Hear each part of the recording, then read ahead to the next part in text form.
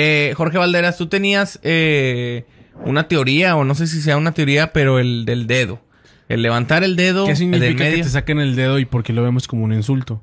Este El de es porque se dice que en años pasados, no sé en qué parte del mundo, había una revisión que se le hacía a las personas que era mediante el proctólogo para revisarles cómo andaban de allá abajo, pues les metían un dedo. Y eso era algo humillante. En ese Que- entonces. Ajá, ajá, que era como que, ay, ¿cómo voy a hacer eso? Entonces, cada que, que tú me decías algo, yo te daba la señal de lo que te iban a meter. Entonces, suponía que era como humillarte.